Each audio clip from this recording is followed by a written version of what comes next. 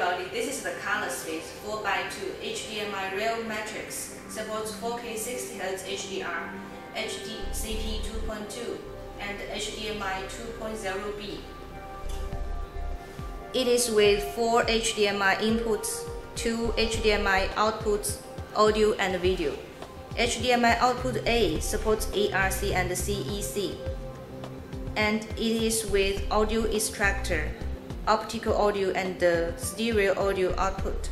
These are the four HDMI inputs. Samsung, Blu-ray, PS4 Pro, Xbox One S and the 4K Apple TV.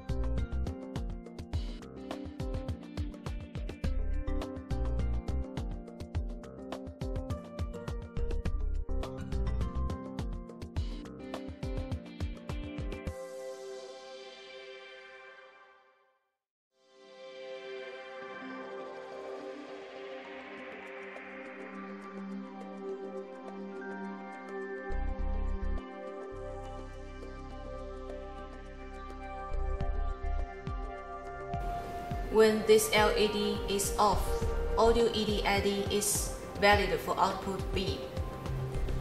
Switch audio button to pass. On output B, it supports Dolby DTS. It has audio display now.